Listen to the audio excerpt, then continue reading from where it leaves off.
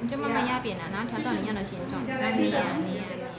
老师正在指导小朋友捏塑大眼怪的嘴巴。这看似粘土 DIY 教学的课程，其实是现正流行的翻糖 DIY 创作。不仅粘度重量都与粘土不同，差别最大的就是这些材料通通可以吃。潮州中心希望以这特别的体验，带给孩子不同于以往的甜蜜暑假。那我们潮州中心哈一直在致力于家庭服务的工作。那对我们潮州中心的呃弱势家庭的孩子，非常的想要给他一个非常。新颖啊，然后让这些小朋友在暑假有一个充实的生活。那我们所以特别在这个暑假哈，引进了这个呃对翻糖这样的概念、这样的新颖的课程哈，让我们潮州中心的小朋友透过这样的呃创意想象，还有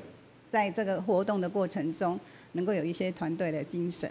特地南下授课的老师何丽仪强调，学习翻糖相关课程价格都相当高，另外翻糖蛋糕也不便宜，偏向弱势孩童几乎没有机会可以接触这项新兴烘焙艺术，因此特地开办课程，不仅要丰富暑期生活，也期盼让他们增广见闻，并提升多元技能。是翻糖啊，就是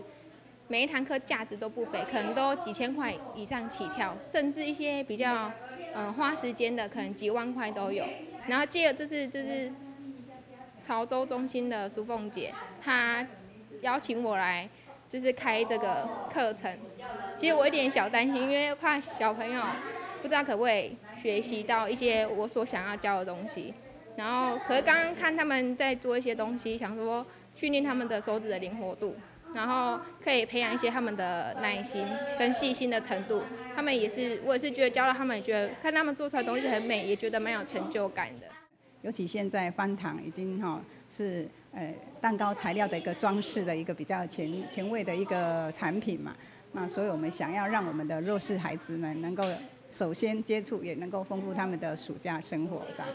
一连六场次的翻糖 DIY，让孩子亲手操作，期盼他们能从中了解翻糖蛋糕的特性，也能训练细心、耐心、自信心，激发创意及想象力，同时也能透过互动学习，让孩子们在快乐中成长茁壮。屏东新闻不停魏德伟采访报道。